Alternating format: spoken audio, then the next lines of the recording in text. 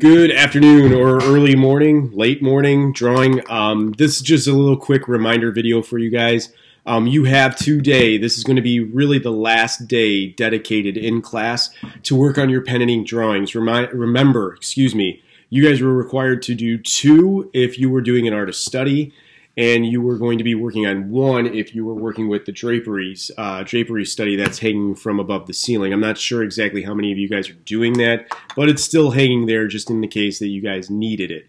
Um, use your time in class today as wisely as possible because when we return, when I return tomorrow, Friday, I am going to be walking you guys through the digital critique form. Um, we're going to postpone or, or just kind of skip over the sketchbook assignment that would normally be there on a Friday to fast forward um, into this critique. Now, this second drawing that you guys are going to be working on is going to be the last drawing that is on uh, this this card marking. So I want to make sure that not only do you guys get points for that, but you guys are also securing points for the critique aspect, which was part of the assignment. Um, so we're going to spend the majority of time on Friday when I return filling that form out with the specifics on what needs to be there and how you need to kind of talk about your artwork. All right. So I'm going to sign off here. I didn't want this to take too long. I wanted you guys to have the majority of time in class. Just do me one favor.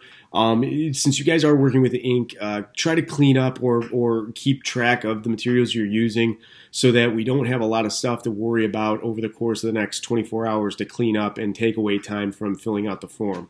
I'd really like to send you guys off Friday um, without anything looming over you, um, just kind of maybe a couple things to tie up um, and, and not any cleaning uh, assignments. So um, goodbye, good luck, and I will see you when I return Friday. All right? Bye.